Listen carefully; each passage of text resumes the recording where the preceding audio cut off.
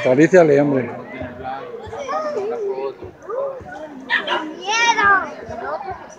Ahora los dientes, tócale los dientes.